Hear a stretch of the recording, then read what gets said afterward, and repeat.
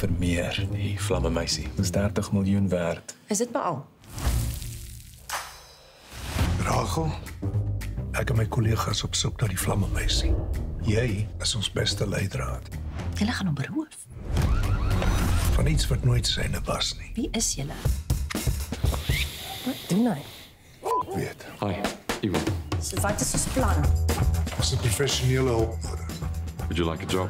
uitkomst eens ook om welke cent ons kan krijgen. Wow. Bam. Thank you, sir. If you're gonna strike these people, you better strike them down. En jullie zoeken met jullie schilderij. En jij zoekt net jouw geld. Ik zoek bij meer dan dit. Here we go.